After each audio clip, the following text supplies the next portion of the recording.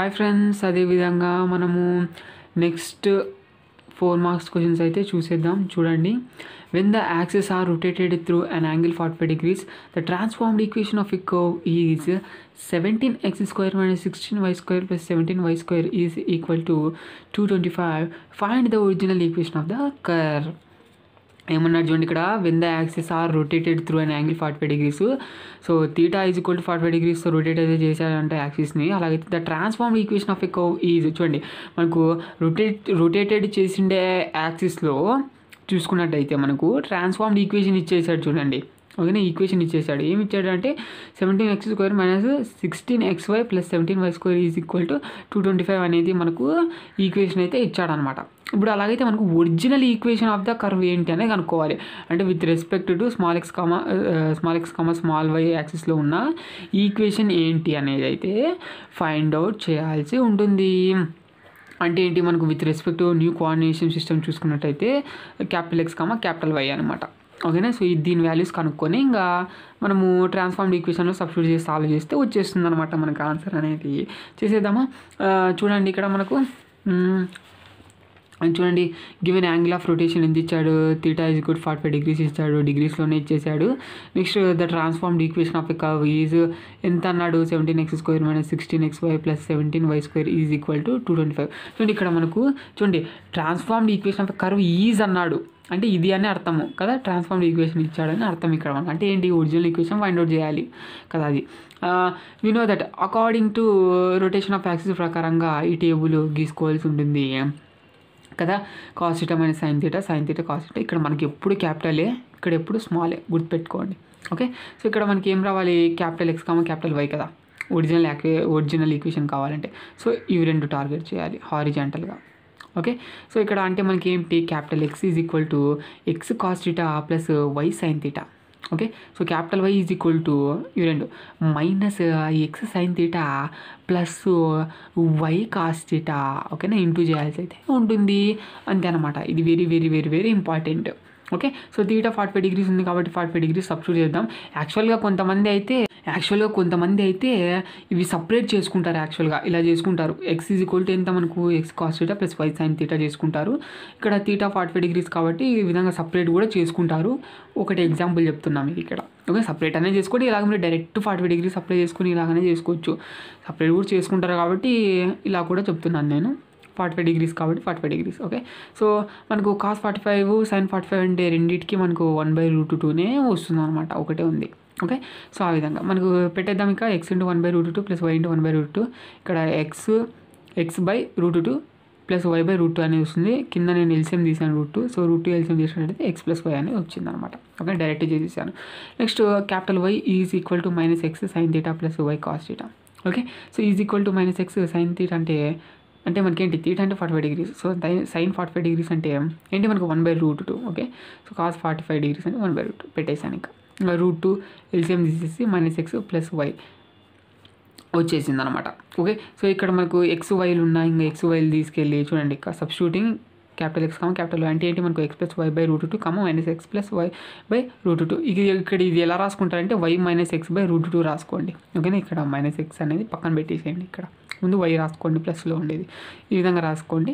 ఇంకా substituting in equation number one then you get ఏంటి? మనకి ఏమొస్తుంది ఈక్వేషన్ ఒరిజినల్ ఈక్వేషన్ అయితే వచ్చేస్తుంది ట్రాన్స్ఫార్మ్ ఈక్వేషన్లో పెడితే. ఓకే సో పెట్టేద్దాం. పెట్టేస్తే మనకు ఈ విధంగా అయితే అయిపోయింది చూడండి. Seventeen into x plus y by root two whole square plus sixteen into x y అంటే ఇది. X plus y by root two into y minus x y root two plus seventeen y square ఉంది కాబట్టి y minus x by divided by root two whole square is equal to twenty five ఉంది. ఓకేనా? ఈ విధంగా నేను two twenty five ఆర్హెచ్ఎస్లో ఉండేది అలాగే పెట్టేశాను. ఇప్పుడు సాల్వ్ చేసేద్దాం. ఇప్పుడు మనకు లోపల అప్లై చేద్దాం స్క్వేర్ని. ఓకే? సో ఇక్కడ కూడా అప్లై చేసేద్దాం స్క్వేర్ని. ఇక్కడ కింద వచ్చేసరికి మనకి రెండు డైరెక్ట్ ఇంటూ చేసేద్దాం. ఇంటూలో ఉంది కాబట్టి. చేసినట్లయితే సెవెంటీ ఇంటూ ఇక్కడ మనకి a plus b whole square ఫామ్లో వస్తుంది అప్లై చేసేసాను. X square plus y square plus two x y divided by root two whole square అంటే స్క్వేర్ రూట్ క్యాన్సిల్ కాబట్టి టూ వస్తుంది మైనస్ సిక్స్టీన్ ఇంటూ ఇప్పుడు చూడండి ఇక్కడ మనకి ఏది మనకి a minus b a plus b into a minus b formula ఏం రాదు ఇక్కడ. సో కాబట్టి చూడండి లేవు కాబట్టి ఇక్కడ ఇంటూ చేసుకోవాల్సి ఉంటుంది ఎక్స్తో సో ఎక్స్ ఇంటూ వై అంటే x y x into minus x అంటే మైనస్ ఎక్స్ స్క్వేర్ అదేవిధంగా వైతో కూడా ఇంటూ చేయాల్సి ఉంటుంది వై ఇంటూ వై అంటే y square plus y square plus into minus అంటే మైనస్. ఎక్స్ ఇంటూ వై అంటే x y divided by two okay? ఇక్కడ చూడండి plus x y minus x y cancel అవుతుంది. Okay? So divided by root two into root అంటే root two whole square square root cancel two. Plus seventeen into ఇక్కడ మనకు a minus b whole square formula apply చేయండి. ఇక్కడ మనకు a minus b whole square ఇక్కడ మనకు why అంటే ఏ. ఓకేనా? సో ఎక్స్ అంటే బి అనమాట a minus b whole square formula apply చేయండి. ఈ విధంగా వస్తుంది. Y square plus x square minus two x y. ఇక్కడ యాక్చువల్గా మైనస్ టూ ఏబి ఆర్డర్ వైజ్గా రాసుకున్నాను. ఎక్స్ వైలో ఓకే సో డివైడెడ్ బై మనకు రూట్ టూ హోల్ స్క్వేర్ అంటే స్క్వేర్ రూట్ క్యాన్సిల్ కాబట్టి టూ అయితే అయిపోతుంది is equal to two twenty five ఈ విధంగా వచ్చేసిన తర్వాత ఏం చేద్దాం?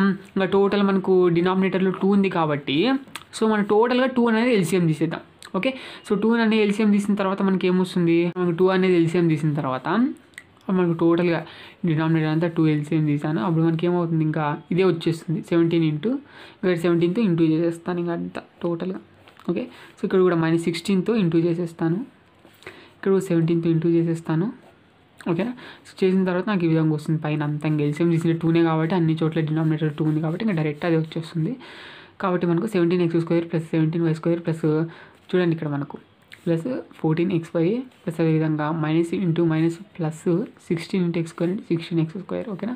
సో అదేవిధంగా minus into plus minus sixteen into y square అంటే sixteen y square okay? Plus అదేవిధంగా seventeen y square plus seventeen x square plus into minus అంటే మైనస్ కాబట్టి సెవెంటీన్ ఇంటూ టూ అంటే fourteen fifteen x five divided by two is equal to twenty five. ఈ టూని ఈ side పంపించేద్దాం. Two twenty five into two అయితే అయిపోద్ది. ఇంకా solve చేసేద్దాం. సెవెంటీన్ ఎక్స్ స్క్వేర్లు ప్లస్ సెవెంటీన్ ఎక్స్ స్క్వేర్లు చూడండి ఇక్కడ మనకు ఎక్స్ స్క్వేర్లు చూడండి అన్నీ. Seventeen x square plus seventeen x square ఎంత అవుతుంది? థర్టీ ఫోర్ ఎక్స్ స్క్వేర్ అయితే అయిపోతుంది. Thirty four x square plus sixteen x square add చేయండి ఏమవుతుంది? టెన్ ఒక fifty okay fifty x square okay plus అదేవిధంగా మనకి seventeen y square minus sixteen y square ఎంత అవుతుంది చెప్పండి? సెవెంటీన్ నుంచి ఒకటి పోతే ఏమవుతుంది? ఇంకా వై స్క్వేర్ ఉంటుంది. ఇంకా వై స్క్వేరు ఇక్కడ ఒక ప్లస్ సెవెంటీన్ వై స్క్వేర్ ఉంది. ఇంకోటి యాడ్ చేసినట్టయితే మనకు ఎయిటీన్ వై స్క్వేర్ అయితే అయిపోతుంది. ఇంకా plus fourteen x y minus fourteen x y cancel అన్నీ అయిపోయినాయి. కాబట్టి ఈజ్ ఈక్వల్ టు ఇక్కడ two into two twenty five అంటే ఫోర్ ఫిఫ్టీ అయితే అయిపోతుంది. ఓకే? సో ఈ విధంగా వస్తుంది. ఇక్కడ మనం చూసినట్లయితే టూ నిల్సియం తీచ్చు కాబట్టి టూ నిల్సియం టూ కామన్ తీస్తున్నాను. ఎల్సియం కాదు. ఎల్సియం అంటే ఇలాగా. కామన్ తీస్తున్నాను. ఓకేనా? సో జాగ్రత్తగా నీట్గా అర్థం చేసుకోవాలి అంతా మీరు. టూని ఎల్సిఎం తీసినట్టయితే మనకు twenty five into x square plus nine y square. Okay is equal to four fifty. ఇక్కడ టూని సైడ్ పంపించుకున్నట్టయితే ఇంటూలో ఉంది కాబట్టి డివైడెడ్ బై టూ అవుతుంది. Two into two twenty five అయితే పోతుంది. ఎందుకంటే ఇంతకు ముందే చేసాం కాబట్టి. ఓకేనా? సో ఈ విధంగా. పోతే మనకు twenty five x square plus nine y square is equal to two twenty five అవుతుంది. ఇది ఈ సైడ్ తెచ్చుకుందాము. ఈక్వేషన్ ఫామ్లో రాసుకున్నట్టయితే twenty five square plus nine y square minus two twenty five equal to zero so therefore the original equation of curve twenty five square plus nine y square minus two twenty five equal zero అయిపోయా? అంతే అనమాట next question చూసేద్దాం. అదేవిధంగా when the axes are rotated through an angle alpha చూడండి ఇక్కడ మనకు when the axes are rotated through an alpha అంటున్నాడు. అంటే ఆల్ఫా అనమాట అంటే త్రీటా ఈజ్ ఈక్వల్ టు ఆల్ఫా అని అర్థం. అంటే ఏదో ఒక యాంగిల్ సమ్ యాంగిల్ అంటే ఫార్టీనా థర్టీనా మనకి ఏమనేది చెప్పలేదు. ఒక ఆల్ఫా అన్నాడు కాబట్టి ఆల్ఫా అని అనుకుందాం. So find the transformed equation of x cos alpha plus y sine alpha చూడండి find the transformed equation of అంటున్నాడు. అంటే దీని యొక్క ట్రాన్స్ఫార్మ్డ్ ఈక్వేషన్ అనుకోమంటున్నాడు అంటే ఇచ్చిండేది ఒరిజినల్ ఈక్వేషన్ ఇచ్చాడు మనకి ఇక్కడ. ఓకేనా? మనం ట్రాన్స్ఫార్మ్ ఈక్వేషన్ అంటే ఎలా సూచిస్తాము? Small x comma small y ఈ వాల్యూస్ కనుక్కొని తీటా మనకు ఆల్ఫా అని అన్నారు కాబట్టి ఆల్ఫా పెట్టేసుకొని సో అందులో మనకు ఇక్కడ ఇచ్చిన ఒరిజినల్ ఈక్వేషన్ సబ్స్టిట్యూట్ చేసి సాల్వ్ చేసినట్టయితే మనకు వచ్చేది ట్రాన్స్ఫార్మ్ ఈక్వేషన్ ఓకే? సో చేసిద్దాం. ఆన్సర్ గివెన్ రొటేటెడ్ యాంగిల్ ఇంత ఇచ్చాడు? థీటా ఈక్వల్ ఆల్ఫా అన్నాడు కాబట్టి అలాగే పెట్టేస్తాం. సో కాబట్టి ఒరిజినల్ ఈక్వేషన్ ఇచ్చాడు కాబట్టి x cos alpha plus y sine alpha is equal to దీని ఈక్వేషన్ నెంబర్ వన్ అనుకుందాం. So according to rotation of axis ప్రకారంగా వీ హ్యావ్ మనకు తెలుసు కదా ఈ టేబుల్ తెలుసు. సో ఇక్కడ మనకు అనుకోవాల్సింది ఏది? ట్రాన్స్ఫార్మ్ ట్రాన్స్ఫార్మ్డ్ ఈక్వేషన్ కాబట్టి small x comma small y so small x అంటే ఈజా టార్గెట్ చేయాలి. So small x is equal to x cos theta minus y sine theta అదేవిధంగా స్మాల్ వై అంటే x sine theta plus y cos theta okay. So small x comma small y అంటే x cos theta minus y sine theta comma x sine theta plus y cos theta అయిపోయింది. Theta is equal to alpha అన్నాడు కాబట్టి x comma y is equal to so ఇక్కడ మనకు theta ఉన్న చోట ఆల్ఫాని అయితే పెట్టేస్తాను. అప్పుడు మనకు x cos alpha minus y sine alpha comma x sine alpha plus y cos alpha ఈ విధంగా వచ్చిన తర్వాత దీన్ని ఎక్కడ సబ్స్టిట్యూట్ చేస్తానంటే ఇంకా మనకి ఏమి యాంగిల్ ఏం చెప్పలే వాడు ఆల్ఫా అన్నాడు కాబట్టి ఆల్ఫా అన్నాము అంతే ఇంకా. దీన్ని తీసుకెళ్ళి ఈక్వేషన్ నెంబర్ వన్లో సబ్స్టిట్యూట్ చేద్దాం. డైరెక్ట్. ఓకేనా? So substituting x comma y in equation number one then you get transformed equation అనమాట ఓకేనా? సో మనకి ఇచ్చిండేది ఇది. ఫస్ట్ ఉండేది ఈక్వేషన్ నెంబర్ వన్ అయితే ఇది. చూడండి ఇక్కడ మీరు. ఈక్వేషన్ నెంబర్ వన్ ఒకసారి రాశాను కన్ఫ్యూజ్ పడకూడదని. దీన్ని ఇక్కడ రాశాను. Small x cos alpha plus small y sine alpha is equal to p అనేది సో ఎక్స్ ఎంత అనేది పెట్టేసేయండి. వై ఎంత అనేది పెట్టేసేయండి. ఇంతకుముందు వచ్చిండే వాల్యూస్ కదా.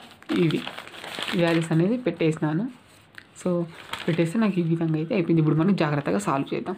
ఓకే సో ఇప్పుడు ఇంటూలో ఉంది కాబట్టి ఎక్స్ కాస్ ఆల్ఫాతో ఇంటూ చేసుకుందాము సో ఇక్కడ కూడా సైన్ ఆల్ఫాతో అయితే ఇంటూ చేసుకుందాము ఇది ఈక్వల్ టు పి పెట్టేసేయండి. So x into x into cos alpha into cos alpha ఏమవుతుంది? Cos alpha into cos alpha అంటే x cos square alpha. Cos square alpha. ఓకేనా? అదేవిధంగా x cos cos alpha into y sine alpha అంటే minus y sine alpha into cos alpha. Okay? Plus అదేవిధంగా ఇక్కడ కూడా into చేద్దాం దీన్ని ఇంటూ చేస్తే x sine square alpha plus y sine alpha cos alpha is equal to p అనేది వస్తుంది. ఇక్కడ మనం చూసినట్లయితే ఇక్కడ ఇక్కడ చూసినట్లయితే ఎక్స్ కామన్ తీయచ్చు. ఎక్స్ కామన్ తీస్తే cos square alpha plus sine square alpha వస్తుంది. సో ఇక్కడ మనకు మనకు plus y sine alpha into cos alpha ఇక్కడ minus y sine alpha into cos alpha ఇవి రెండు క్యాన్సిల్ అయిపోతాయి. ఓకే? సో ఈ విధంగా వస్తుంది. Is equal to p so ఇక్కడ చూడండి ఇక్కడ cos sine square theta plus cos square theta is equal to one అనమాట. ఇది మనకు ఒక ఫార్ములా ఉంది. ఓకేనా? సైన్స్ కోయి తీటా ప్లస్ కాస్ కోయి theta is equal to one అనమాట. ఇక్కడ వచ్చేసరికి మనం కాస్ కోయి తీటా ప్లస్ సైన్స్ స్క్వేర్ ఎలాగైనా రాసుకోండి ప్లస్ ఉంది కాబట్టి. ఇక్కడ theta is equal to alpha అనమాట అంతే తేడా ఏం లేదు. ఓకేనా? వన్ అయితే అయిపోతుంది దీని వాల్యూ సో కాబట్టి వన్ ఓకే? సో వన్ అయితే అయిపోయింది దీని వాల్యూ అంతా. So x into one is equal to p దీన్ని సార్ తెచ్చుకున్నాం ఓకే? ఎక్స్ ఇంటూ వన్ అంటే ఎక్స్ ఇంకా x is equal to p ఇది తెచ్చుకుంటే x minus p is equal to zero so therefore the transformed equation is small x minus p is equal to zero ఎప్పుడైనా కానీ small ఎక్స్లోనే రాయలు గుర్తు పెట్టుకోవాలి మీరు. Okay? X minus PG ఇది మనకు ఏంటి మనకు ట్రాన్స్ఫార్మ్డ్ ఈక్వేషన్ అనమాట అంతే. ఓకేనా? ఒకవేళ మనకు ఆల్ఫా ఏమైనా వాల్యూ ఇచ్చింటే కింద చేసేవాళ్ళము. ఇంకా ఆల్ఫాలో ఆల్ఫాలోనే ఇచ్చాడు కాబట్టి ఇంక ఇది వచ్చింది. ఇది అనమాట ఇది మనకు ట్రాన్స్ఫార్మ్డ్ ఈక్వేషన్ అంటే రొటేటెడ్ రొటేటెడ్ యాక్సిస్లో ఉన్న ఈక్వేషన్ అనమాట ఇది. ఓకే?